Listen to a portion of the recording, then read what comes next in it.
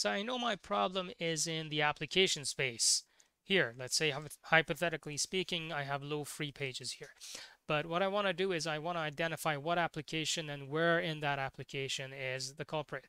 So what I do is I use top and then shift M to sort everything in terms of memory and then look at the top runner or any of these for any trend or whatever I'm interested in. Let's say I pick this one, this application. What I want to know is I want to know the breakup of the memory usage. One of the important things that could happen to an application is that you can have heap leak. And that would manifest as an increase in the virtual memory. So what I do is I'm going to monitor for the virtual memory here. This is the virtual and this is the resident, but I'm only going to focus on anonymous pages which are read and writable, which would signify heap.